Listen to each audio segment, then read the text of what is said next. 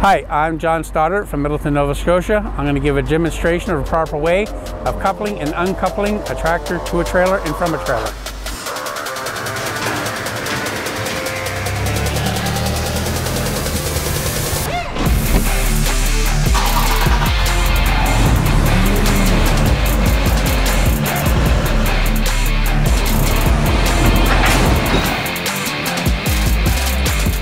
Uh, I know every province is different. I know in Nova Scotia, where I am from, they would recommend that you back up to your trailer, touches your bumperettes on the back of your tractor, pull your maxis on, get out, connect your lines and your light line, and then jump in your tractor, release your brakes and continue to back under till it's locked. Give a tug test, put your dolly legs up. That way, if something was to happen, your dolly legs are still down and you are connected, then your brakes on your trailer will be uh, applied and then once you're fully ready to go, you can pull down on your, release your trailer brakes, pull down on your spike, also give another tug test.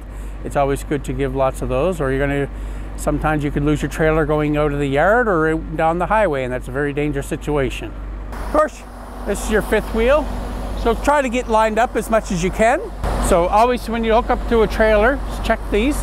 Trailer's tires may need to be torqued. They normally recommend after 100 kilometers to give a uh, stop it somewhere and get them torqued.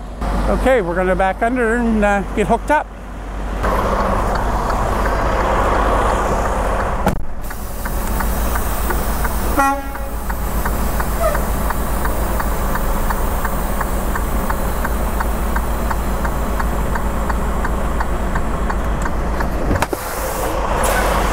As you see, I always uh, try to bump just to your bumperettes, hit the uh, under the, uh, the trailer, grab my gloves from inside my compartment. I know it looks like a long ways, but they will stretch. Grab your lines.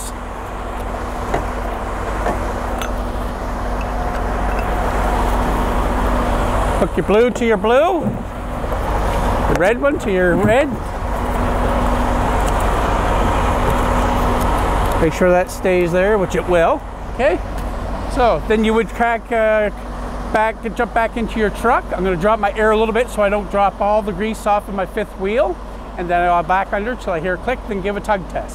Okay, properly to grease your fifth wheel I do it from home. I'll take a grease gun and uh, sit there and grease it back and forth the same way that they have done it in the shop. This is the way they've done it from the shop. They've just done a PM to this truck. So, or you could take a stick, whatever, as long as you get some grease on there. It's always good also to put a little bit of grease in around where the looks and the locks are, eh? That way it keeps them working connecting and, and keeps them working properly as well. It's okay, so we will uh, shut this door to the first click. I'll set my gloves here on the back and then I'll lower my air so I don't rub all the grease off my fifth wheel and then we'll slide under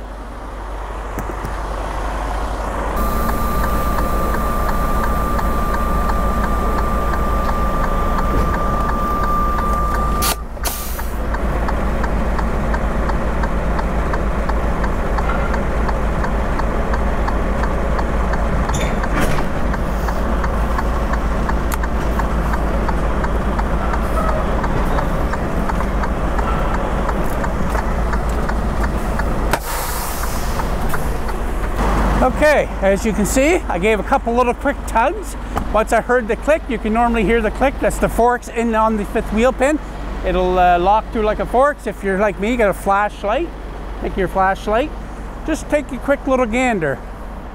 Watch your head, but if you cook and you come under, so I can see that those forks are closed, so I know my trailer is locked. Those forks are locked. That trailer cannot disconnect until you pull the pin. If you see right down in there, see those where that light is? Those forks just moved. Right underneath there. And now, because this here's your part of your trailer, so this fork right there, see these two little forks right here? They just opened up, now I can pull out. Once you're all hooked up and you're uh, doing your pre-trip stuff, put your dolly legs all the way up, okay? till you, you lock your uh, handle into, I guess it would be this side. Make sure it's locked secure going down the highway. That's a safety issue because the other vehicles are on this side. You don't want that swinging out, catching a car or something, especially once it locks. Now, the biggest pet peeve I have with other drivers here, uh, any other place that I've worked, when they put their dolly legs down, they crank them all the way down to the bottom of the ground.